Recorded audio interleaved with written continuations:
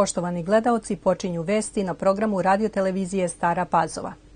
Kako sremske vesti nezvanično saznaju, u rumskom selu Putinci izbio je ogroman požar. Do požara je došlo kada su se zapalile plinske boce u prodavnici na centru sela. Kako nezvanično saznajemo, vlasnik prodavnice trenutno je na godišnjem odmoru, a meštani ne znaju kako je do požara došlo. Uzrok požara još uvek nije poznat. USAID zvanično otvara ženski edukacioni centar osnovan u partnerstvu sa kompanijom Inser DOO u okviru projekta koji se realizuje u saradnji sa opštinom Ruma. Cilj ženskog edukacionog centra je promocija zapošljavanja i ekonomskog prosperiteta u Rumi i Sremskom okrugu putem unapređenja znanja i zapošljivosti lokalnog radno sposobnog stanovništva. Centar obezbeđuje pristup stručnom osposobljavanju i time doprinosi smanjenju razlika između potreba privatnog sektora i veština dostupne radne snage. Obuke za radno sposobne nezaposlene žene su besplatne, sektorski fokusirane i usklađene sa potrebama privatnog sektora u oblasti proizvodnje i prerade obuće, kože i nameštaja. Dodatne obuke odnose se na sticanje znanja iz engleskog jezika i informatike. Kako bi se obezbedila uspešnost, odziv na tržištu rada i eventualno novo zapošljavanje, Centar blisko sarađuje sa državnim institucijama, lokalnim školama, preduzećima iz privatnog sektora i lokalnim samoupravama. Vlada će pomoći domaćim firmama i srpskim domaćinima, poručio je danas premijer Aleksandar Vučić na otvaranju nove fabrike za proizvodnju građevinskog stiropora domaće kompanije Bekament u Aranđelovcu. Vučić je rekao da je vlada uložila 500.000 evra da pomogne kompaniji Bekament u Aranđelovcu i da im je taj novac na raspolaganju, kao i da je preuzela obavezu da završi 3 km puta u okolini Aranđelovca. Bekament je kamen srpske ekonomije i kamen srpske budućnosti, poručio je Vučić i naglasio da će Srbija, prema za sada nezvaničnim podacima, imati najveći rast bruto domaćeg proizvoda u regionu za prvi šest meseci ove godine, a da će u Evropi biti među prve četiri zemlje po stopi rasta. Predstavnici Evropske centralne banke danas u Beogradu potvrdili da je ta banka spremna da pomogne u rešavanju problematičnih kredita, kao i održanju i očuvanju stabilnosti bankarskog i ekonomskog sistema u Srbiji. Član izvršnog odbora Evropske centralne banke Benu Kerej razgovarao je sa premijerom Srbije Aleksandrom Vučićem o ekonomskoj situaciji i perspektivama razvoja, kao i uticaju Srbije na ekonomska kretanja u regionu Zapadnog Balkana.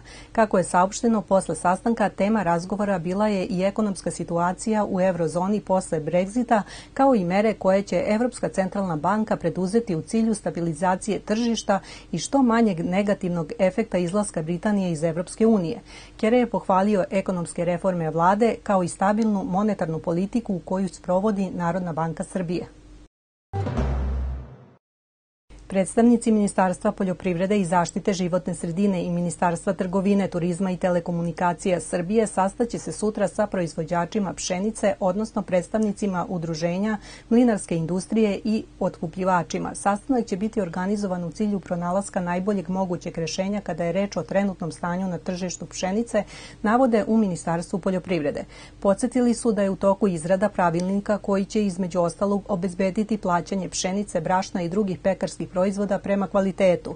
Poljoprivrednici traže da se pšenica otkupljuje po stvarnoj tržišnoj ceni, koja je, kako navode, oko 18 dinara po kilogramu, a ukazali su i da je monopolsko ponašanje velikih otkupljivača dovelo cenu pšenice ispod tržišne.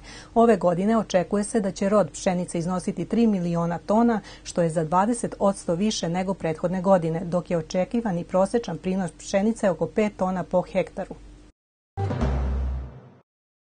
Odnedavno je u svim domovima zdravlja u Vojvodini uveden takozvani EASY sistem, integrisani zdravstveni informacioni sistem koji praktično umrežava sve zdravstvene ustanove u Srbiji u jednu bazu podataka i po kome lekar opšte prakse pacijentima koje upućuje na dalji pregled sam zakazuje termine kod lekara specijaliste. U praksi je trenutno otežano zakazivanje po ovom novom sistemu jer ima manji broj slobodnih termina za zakazivanje koji su na raspolaganju zbog letnjeg perioda i smanjenog broja lekara lekara u bolnicama, kao i zbog ranije popunjenih termina kada ovaj sistem još nije zaživeo.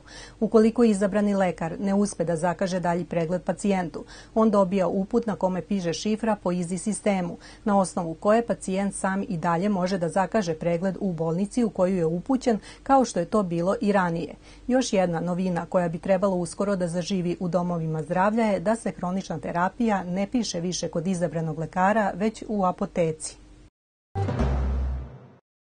Opšte udruženje preduzetnika Stara Pazova aktivno radi na rekonstrukciji zanatskog doma. U planu je da prostorije gde su se nekada okupljale zanatlije ponovo budu privedene toj nameni i da budu prostor za edukacije, o čemu će biti reči i na vanrednoj skupštini udruženja.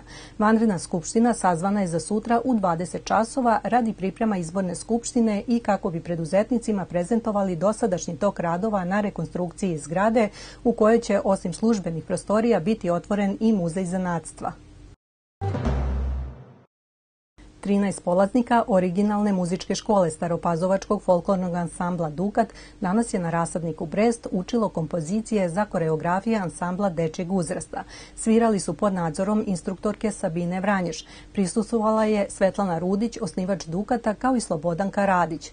Mladi muzičari su iz Golubinaca, Vojke, Stare Pazove i Novih Karlovaca nedavno su svirali na Stražilovu, a na rasadniku će biti ponovo 17. avgusta. Škola je besplatna u vremenu kada sve manje novca ostane za letovanje, ovako angažovanje mladih za vreme raspusta zaslužuje pažnju i pomoć šire zajednice.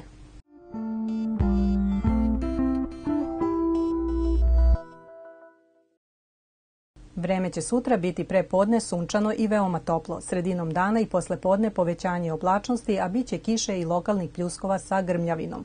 Duvaće slab do umeren vetar južnih pravaca, koji će tokom dana biti u skretanju na umeren do jak severozapadni. Minimalna temperatura 20, a najviša dnevna 29 stepeni Celzijusa. Bile su ovo vesti na programu radiotelevizije Stara Pazova. Hvala vam na pažnji. Ostanite uz naš program.